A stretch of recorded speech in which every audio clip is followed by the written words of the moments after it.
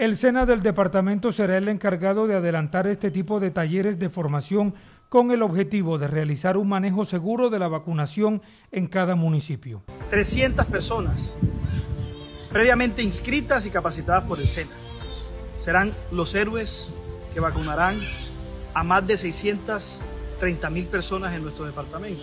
El gobernador de Sucre insistió una vez más en guardar las medidas de autocuidado. Las medidas de autocuidado, la distancia, usar el tapabocas. Si bien inicia la vacunación, para poder inmunizarnos, aún el COVID anda por ahí.